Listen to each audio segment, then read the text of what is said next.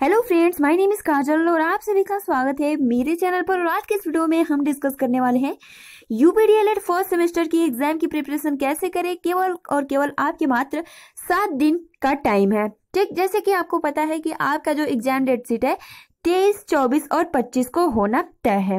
लेकिन ये भी बात आ रही है कि हो सकता है कि आपका एग्ज़ाम का जो डेट है, ये भी बढ़ सकता है, बट अभी फ़िलहाल इसके संबंध में कोई भी न्यूज़ नहीं आया है कि आपका जो डेट है वो चेंज हो सकता है। ठीक? तो हमारा जो आज का टॉपिक है कि आपके जो सात दिन केवल बचे हैं तो आप अपना एग्ज़ाम की प्रिपरेशन कैसे करते हो? जैसे कि आपको पता है कि जब एग्ज़ाम की तैयारी हम पहले नहीं करते हैं और जब बहुत ही कम दिन बच जाता है तो हम एकदम एग्ज़ाम की तैयारी में लग जाते हैं कि मतलब एग्ज़ाम की तैयारी कैसे करें कि आपका एग्ज़ाम जो है बहुत ही अच्छा हो और जो आपका मार्क्स हो वो बहुत ही अच्छा है ठीक तो आज के इस वीडियो में हम यही डिस्कस करने वाले हैं। लेकिन उससे पहले कुछ कमेंट्स थे, जिनका मैं रिप्लाई दे दूँ, क्योंकि बहुत ही मतलब बार बार ये कमेंट्स आ रहे थे। तो चलिए एक बार वो देख लेते हैं, उसके बाद हम ये डिस्कस करेंगे कि आप अपना तैयारी कैसे कर सकते हो। सबसे पहला तो ये आपका सवाल है, ठीक, इन्होंने बार बार मतलब बहुत सारे ऐसे स्टूडेंट हैं जिनका सवाल यही आ रहा था कि हम जेल पेन से क्यों नहीं लिख सकते हैं अपने कॉपी में? प्लीज़ बताइए। ठीक तो जेल पेन से इसलिए इसलिए नहीं लिखना चाहिए क्योंकि जब आप पेन जेल पेन से लिखते हो तो वो आ, मतलब इधर उधर लग जाता है ठीक? और वो मतलब बहुत ही गंदा जैसे दिखने लगता है और वो अच्छा भी नहीं लगता है। तो इसलिए आप हमेशा बॉल पेन का ही यूज़ करें। ये भी हो गया। अब अगला जो कमेंट्स है वो भी एक बार देख लेते हैं। जल्दी जल्दी जैसे कि अगला आपका प्रश्न है कि मैं आ, ये पूछ रही है कि एग्ज़ाम में साइंस और मैथ का पेपर लैंग्वेज इंग्लिश में भी आती है या फिर नहीं? तो जो आपका मैथ और साइंस या फिर कोई भी सब्जेक्ट हो जितने भी प्रश्न पूछे जाते हैं वो हिंदी में रहता है न कि इंग्लिश में। ये भी क्लियर हो गया? अब देखते हैं और भी कुछ कमेंट्स हैं। जैसे कि इनका आ, कमेंट है कंचन जायसवाल जी का कि मैम आप बस एक बार ये बता दो कि एग्ज़ाम की टाइमिंग क्या रहती है? जब दो होते हैं मतलब जब दो पेपर होते हैं तो कितना टाइम गैप होता है और जब एक दिन में तीन पेपर होता है तो कितना टाइम गैप होता है? इसके बारे में बताइए तो चलिए मैं बता देती हूँ क्योंकि अब आपको अगर नहीं पता है तो कोई बात नहीं है तो चलिए बता देते हैं और टाइम टेबल के साथ ठीक? तो ये आपका जो टाइम टेबल है तो सबसे पहले आप यहाँ देख सकते हो, तेईस तेईस को दो पेपर होगा, बाल विकास और शिक्षण अधिगम का। तो यहाँ आपका जो टाइमिंग दिखा दिया है, क्योंकि ये दोनों पचास नंबर का होता है, और आपका जो तेईस का एग्ज़ाम होगा, उसमें केवल दो पेपर होंगे, बाल विकास प्लस शिक्षण अधिगम का। तो देखिए, जो आपका बाल विकास का पेपर होगा, वो दस बजे से बारह बजे तक होगा, ठीक? एक घंटे दो घंटे का टाइमिंग होगा। तो आपका दस बजे से और बारह बजे तक होगा, और उसके बाद शिक्षण अधिगम जो द्वितीय पेपर होता है तो आपका उसमें एक घंटे का गैप होता है और दो बजे से चार बजे तक आपका पेपर होता है। ठीक तो ये भी क्लियर हो गया क्योंकि एक दिन में दो पेपर होंगे तो इस तरीके से एक घंटे का गैप होता है। फिर चौबीस तारीख की बात करते हैं तो चौबीस तारीख को तीन पेपर होंगे। विज्ञान, गणित और सामाजिक अध्ययन दो पच्चीस नंबर का और एक पचास नंबर का। तो जो आपका विज्ञान होगा, वो दस बजे से ग्यारह बजे तक होगा, ठीक? उसमें, उसके बाद आपका एक घंटे का गैप रहेगा, फिर ग्यारह बजे के बाद आपका जो गणित का एग्ज़ाम होगा, वो बारह बजे से एक बजे तक होगा, फिर एक घंटे का गैप रहेगा और दो बजे से और चार बजे तक आपका एग्ज़ाम तीनों पेपर करा लिए जाएँगे। फिर 25 तारीख की बात करूँ तो 25 तारीख से आपके एग्ज़ाम स्टार्ट होंगे और उस दिन भी आपके तीन पेपर होंगे जो तीनों पेपर 25 25 नंबर के होते हैं और जो टाइमिंग रहेगी वो एक एक घंटे का गैप रहेगा, दस बजे से ग्यारह बजे तक, फिर बारह बजे से एक बजे तक, फिर दो बजे से तीन बजे तक। तो ये भी क्लियर हो गया। तो चलिए हम अपना जो आज का टॉपिक है उस पर बढ़ते हैं। चलिए, आज का हमारा यही टॉपिक है कि एग्ज़ाम की प्रिपरेशन कैसे करें। जैसे ही हम ये सोचते हैं कि एग्ज़ाम डेट कब आएगा कब आएगा बट अच्छे से प्रिपरेशन नहीं करते हैं। और जब एग्ज़ाम का डेट आ जाता है और कुछ शेष दिन मतलब कि एक हफ़्ता या फिर दो तीन दिन टाइम रह जाता है, तब हम एग्ज़ाम की तैयारी बहुत ही मतलब अच्छे से करते हैं या फिर बहुत ही जल्दी जल्दी में जो आता है वो भी हम भूल जाते हैं और जो नहीं आता है उसकी तो बात ही छोड़िए आप। ठीक? तो चलिए हम जानते हैं जैसे कि फिर आप यही सोचते हो कि कम समय में कैसे पढ़े? एग्ज़ाम के पहले दिन तैयारी कैसे करें? तो फिर आप ये भी सोचते हो कि कम समय में अच्छे मार्क्स आ सकते हैं या नहीं? ठीक, ये भी आपके, जितने भी आपके मन में डाउट और जितने भी आपके क्वेश्चन होते हैं, इस पर हम डिस्कस करेंगे। फिर आपके दिमाग में ये सवाल आता है कि जो डेली कॉलेज जाते हैं या फिर शुरू से ही पढ़ रहे हैं, उनका ही अच्छा मार्क्स आ सकता है। हमारा तो कुछ नहीं होने वाला है। बट ऐसा कुछ नहीं है। और सबसे पहले मैं आपको ये भी बता दूँ कि आप अगर डीएलएड में करते होंगे तो इसमें तो आपका अनिवार्य था कि आप जब तक आपका अटेंडेंस नहीं होगा तब तक आपको प्रवेश पत्र नहीं दिया जाएगा। लेकिन बहुत सारे ऐसे मैक्सिमम स्टूडेंट हैं जो कॉलेज डेली नहीं जा पाते हैं। लेकिन जो कॉलेज जाते होंगे, उनको कुछ मतलब कॉलेज में पढ़ाई होता होगा तो कुछ तो ये पता होगा कि कौन से सब्जेक्ट में क्या, कौन सा टॉपिक है। ये सब कुछ पता होगा। बस आपको इस टाइम क्या करना है, इस वीडियो में हम डिस्कस करेंगे और आपके भी अच्छे मार्क्स आ सकते हैं। ये बहुत मतलब गारंटी के साथ मैं कह सकती हूँ लेकिन अगर आप ये सोचते हो कि हमारे अच्छे मार्क्स नहीं आएँगे और पहले ही आप अपना जो कॉन्फिडेंस है वो बहुत ही लो कर देते हो तो ये आपकी बहुत जो जो थिंकिंग है वो बहुत ही रॉन्ग है। इसलिए आप सबसे पहले खुद पर कॉन्फिडेंस रखो और अपना एक टारगेट बनाओ कि हाँ मैं अच्छे से अच्छे मार्क्स ला सकता हूँ और जितने भी आपके आ, मतलब प्रेशर है, उसको दूर कीजिए और सिर्फ़ और सिर्फ़ आप अपना एग्ज़ाम की प्रिपरेशन करिए और कॉन्फिडेंस तो पहले होना चाहिए। जब तक कॉन्फिडेंस नहीं होगा, तब तक आप किसी भी पेपर को अच्छे से नहीं करोगे। क्योंकि अगर आप डर के पेपर दोगे तो जो आपको आता रहेगा, वो भी भूल जाएगा। लेकिन आपको, अगर आपको खुद पे कॉन्फिडेंस होगा तो आप अपना पेपर अच्छे से कर सकते हो। ठीक है? ठीक तो सबसे पहले आपको एक लक्ष्य बनाना होगा कि कितना मार्क्स आपको लाना है। लेकिन इससे पहले आपको सेवन डेज़ में बहुत ज़्यादा मेहनत करनी होगी क्योंकि आ, आपको पता है कि जो UP D L first semester है इसमें कुल आठ सब्जेक्ट है और आठों सब्जेक्ट में आपको अपना टाइमिंग देना होगा क्योंकि पता है कि सभी सब्जेक्ट में नंबर कितना लाना अनिवार्य ये आपको पता होगा।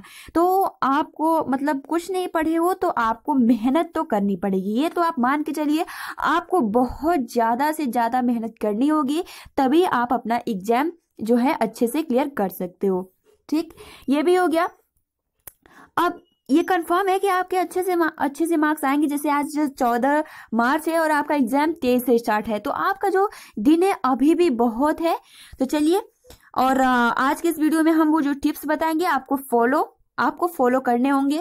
तो सबसे पहले ये देखिए फ़र्स्ट नियम जो ये है कि अगर आपको कोई भी प्रश्न आते हो तो ठीक जैसे कि आपके मान लीजिए कोई भी सब्जेक्ट है और आपको लगता है हाँ मुझे ये प्रश्न आता है। लेकिन आता है चलिए ठीक है लेकिन एक कॉन्फिडेंस भी होना चाहिए कि हाँ ये प्रश्न आता है क्योंकि आपने देखा होगा कि आ, बहुत सारे स्टूडेंट्स ये बोलते हैं कि मुझे ये प्रश्न आता है बट ये भी कहते हैं कि पता नहीं एग्ज़ाम में अच्छे से ये प्रश्न मेरे से हो पाएगा या नहीं। अब बताइए जो आपको प्रश्न इजी है जो आते हैं उसमें भी अगर आपके पास कॉन्फिडेंस नहीं रहेगा तो फिर आप अपना पेपर कैसे सॉल्व कर सकते हो? तो इसलिए अगर आपको कोई भी प्रश्न आते हो तो आपको आसान लग रहे हैं तो सबसे पहले जो पिछले साल का पेपर है, ठीक? पिछले साल का पेपर है, उसमें देखो कि आपको जो प्रश्न आते हैं, एग्ज़ाम में आए हैं या फिर नहीं। अगर आए हैं तो आपको क्या करना है? आपको ये करना है कि बहुत सारे उसे से संबंधित बहुत सारे क्वेश्चन सॉल्व करना है। आप अपने बुक से देखो, ठीक? बुक से उदाहरण होता है एग्ज़ाम्पल होता है, उसको सॉल्व करो। सीरीज़ में बहुत सारे ऐसे प्रश्न होते हैं, उसको सॉल्व करो। जो आपको मतलब ईजी सबसे पहले जो आपके, जो आपको प्रश्न आते हैं, उसको डेली रिवीजन कीजिए। मतलब बात की बात है, जो आपको कोई भी टॉपिक समझ में नहीं आता है, उसको छोड़ दीजिए। ज़रूरी नहीं है कि उसको आप मतलब हमेशा के, याद करके ही रहोगे, लेकिन आपको जो टॉपिक आता है, एकदम उसको अच्छे से क्लियर कर लीजिए कि क्या पता एग्ज़ाम में आ जाए और आप बहुत ही आसानी के साथ उसको कर सकते हो। ये भी क्लियर हो गया। अब अगला देखिए। टाइम मैनेजमेंट ठीक? टाइम मैनेजमेंट का ज़्यादा से ज़्यादा आपको ख्याल रखना होगा क्योंकि आपको टाइमिंग दी जाती है प्लस आपको ये भी दिया जाता है कि आपको कितने प्रश्न करने हैं इतने समय में।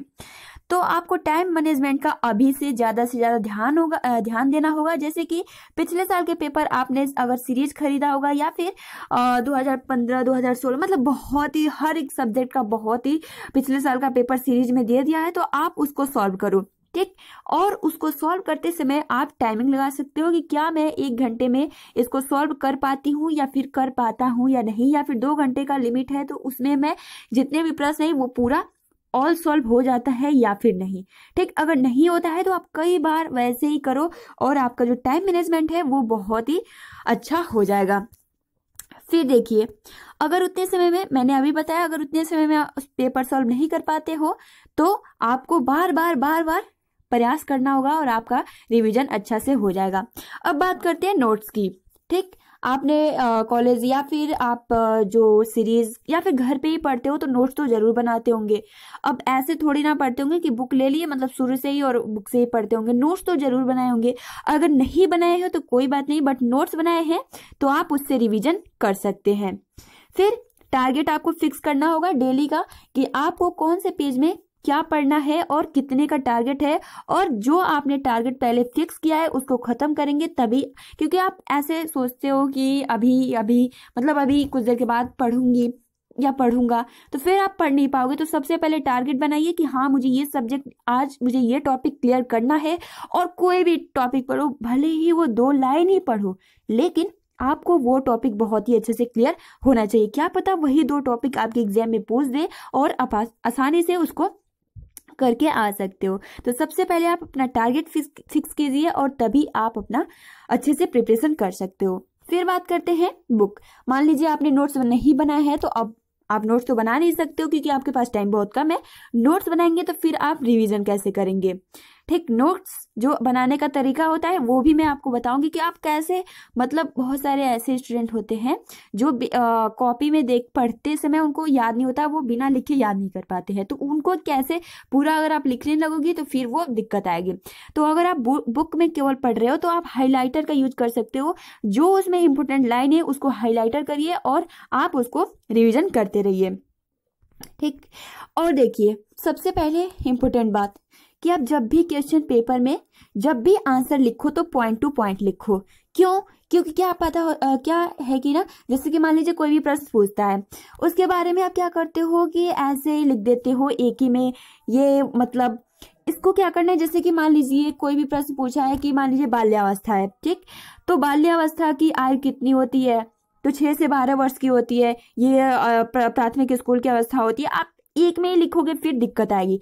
आप उसको एक एक लाइन करके लिखो, एक एक लाइन करके लिखो और दो नंबर का प्रश्न है तो जो पढ़ने वाला होगा उसको भी अच्छा लगना लगेगा और और जो वो नंबर भी दे देगा। तो इसलिए आप कोई भी प्रश्न पॉइंट टू पॉइंट लिखो, आपने एक लाइन में वो पूरा हो गया, आपने वहाँ पूर्ण विराम किया। फिर नेक्स्ट लाइन में आओ तो आप ऐसे लिखोगे तो फिर कोई दिक्कत नहीं आएगी। एक, और अगर आप इस टाइम पढ़ रहे हो तो किसी भी आंसर को पॉइंट में लिखो। ठीक, जैसे कि मान लीजिए आप कोई भी मान लीजिए मेसोपोटामिया या फिर सामाजिक अध्ययन कुछ भी पढ़ रहे हैं तो आपको ये किस न, जैसे मान लीजिए मोहनजोद्रो किस नदी के तट पर स्थित है तो आप सिंपल लिख दो कि स्थिति, ठीक, स्थिति लिखो। स्थिति लिखो, कब तो आप लिख सकते हो कि सिंधु घाटी कब हुआ तो 1922 में हुआ, किसने किया तो राखल दास बनर्जी ने किया। मतलब पॉइंट टू पॉइंट आप लिखते जाओगे और आसानी से एग्ज़ाम के टाइम आपने लिखा होगा और एक बार देख लेंगे तो आसानी के साथ उसको रटने की ज़रूरत नहीं है, एक बार समझ लेंगे तो आप आसानी के साथ कर सकते हो। ये भी क्लियर हो गया।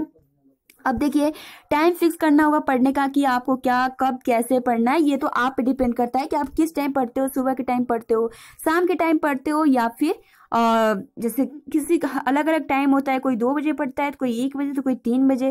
ठीक तो मुझे सबसे बेस्ट तरीका लगता है सुबह का टाइम ठीक, सुबह का टाइम जैसे शांत माहौल होता है और एकदम फ्रेशनेस होती है।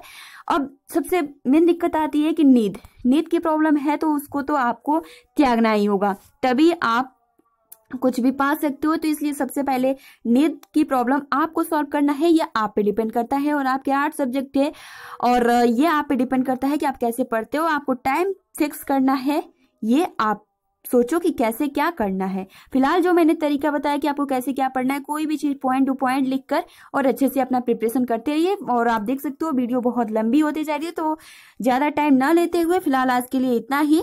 सभी को मेरी तरफ़ से best luck best of luck मिलते हैं अगले वीडियो में. तब तक के लिए thanks for watching take care and best of luck